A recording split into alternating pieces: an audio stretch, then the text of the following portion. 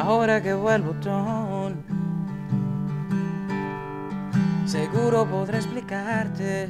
Yo descubrí el mundo fascinante de la lectura en mi adolescencia a partir de los 13 años. Esta pasión vino por un tío mío que se llama René del Risco Bermúdez.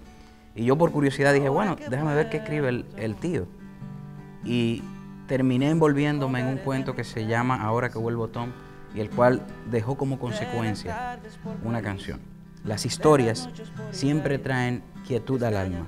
También la lectura aporta a uno un poco escapar del entorno a veces no tan agradable que uno tiene. Las letras están allí para descubrirlas y solo puedes descubrirlas si te sientas a leer. Yo te invito a leer conmigo.